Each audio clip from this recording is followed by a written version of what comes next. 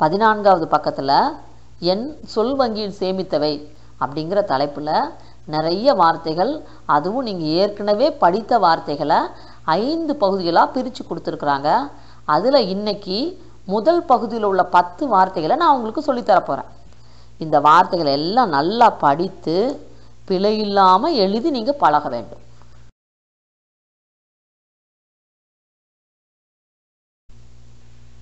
முதல் வார்த்தை மைனா.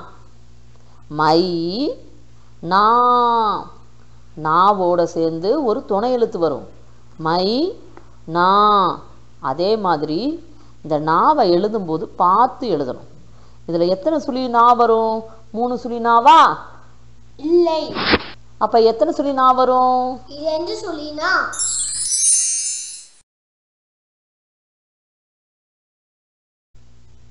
அடுத்த வார்த்தை தோசை. தொசை இல்லை. தோசை. இந்த தோசையில் ஒத்த கொம்பு வருமா? இல்லை. அப்போ தோசையில் எத்தனை கொம்பு வரும்? இரண்டு கொம்பு.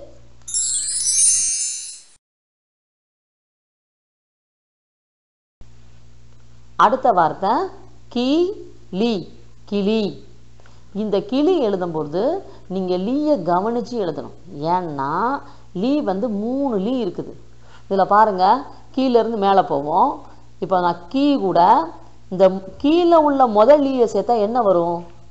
கி லி கிளி அப்படின்னு வரும். அந்த கிளிக்கு என்ன அர்த்தம்னா பயம்னு அர்த்தம். இந்த லீ நம்ம போடலாமா? இல்லை. சரி. இப்போ நான் என்ன பண்ணுறேன் அந்த கீயோட நடுவில் இருக்கிற சிறப்பு லீயை போடுறேன். அப்போ எனக்கு என்ன கிடைக்கும்? கிளி அப்படின்னு கிடைக்கும். இந்த கிளி அப்படின்னா என்ன அர்த்தம்னா ஒரு காகிதத்தை கிழிக்கிறது அப்படி இல்லைன்னா ஒரு துணியை கிழிக்கிறதோ மாதிரி ஒரு அர்த்தம் வந்துடும் அதனால இந்த லீயை நீங்கள் சேர்க்கலாமா? இல்லை. அதனால நீங்கள் சேர்க்க வேண்டியது முதல்ல உள்ள லீ. கி லீ. அடுத்த வார்த்தை யானை. யா நை யானை. இதில் கவனித்து பார்த்தீங்கன்னா இந்த யா பக்கத்தில் என்ன இருக்குது? ஒரு துணை எழுத்து இருக்குது. அதை நீங்கள் கவனித்து எழுதணும். அடுத்து நீங்கள் கவனிக்க வேண்டியது நை. இந்த நையில் நான் வந்து ரெண்டு சுழி நான் இதில் மூணு சுழி நான் சேர்க்கலாமா? இல்லை. அப்போ எத்தனை சுழி நான் சேர்க்கணும்? இரண்டு சொல்லினா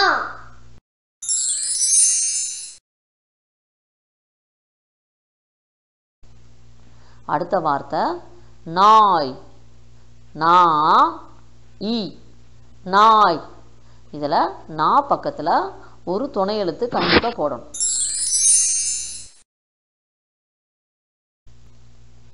அடுத்த வார்த்தை வெடி. வே டி. இந்த வே எழுதும்போது நீங்கள் கவனித்து எழுதணும்.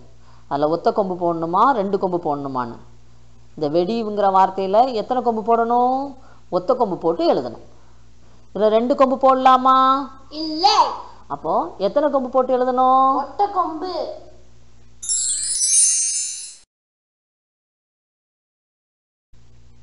அடுத்த வார்த்தை ஆறு.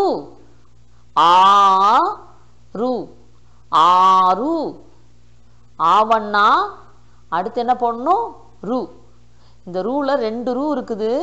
சின்ன ரூ போடலாமா? இல்லை. அப்போ எந்த ரூ போடணும்? பெரிய ரூ.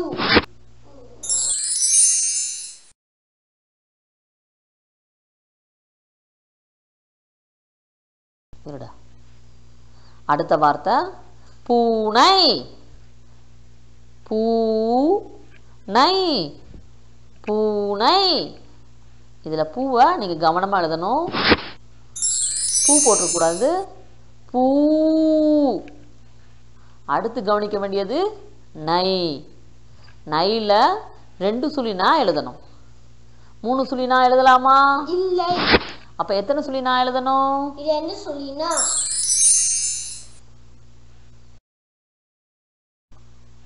அடுத்த வார்த்தை வடை. வ டை. வடை. அடுத்த வார்த்தை.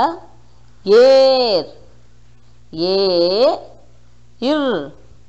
ஏர். இதில் முத எழுத்தை நீங்கள் கவனித்து எழுதணும். ஏ எழுதக்கூடாது. ஏ எழுதணும். அடுத்த எழுத்து இர்.